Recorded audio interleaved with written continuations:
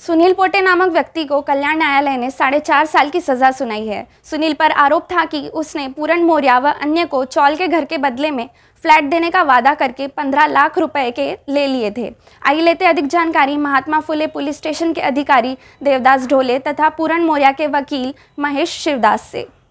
महात्मा फुले चौक पोलीस ठाणे, गुन्हा रजिस्टर नंबर एकशे पाच ऑब्लिक दोन हज़ार बावीस आय पी सी चारशे सहा, चारशे वीस चौतीसमध्ये आरोपीनं आम्ही सुनील दामोदर पोटे या सदर गुन्ह्यामध्ये अटक केली होती.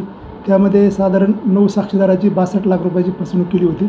त्यामध्ये गुन्हा तपास करून मान्य न्यायालयात दोषारोपपत्र सादर केले असता मान्य न्यायालयाने त्यास साडेचार वर्ष शिक्षा व पंधरा लाख रुपये लाख रुपये दंड दंड न भर भरल्यास एक वर्ष अशी शिक्षा सुनावण्यात आलेली आहे.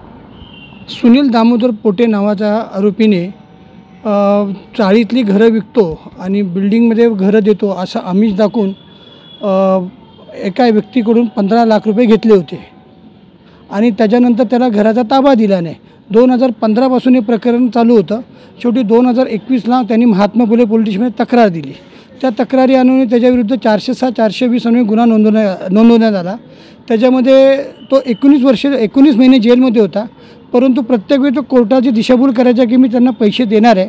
सरते शेवटी एकोणीस महिने झाल्यानंतर त्यांनी असं कोर्टात सांगितलं की मला गुन्हा कबूल आहे मला आहे तेवढ्या पिरियडमध्ये कोर्टाने सोडून सोडून देण्यात यावे.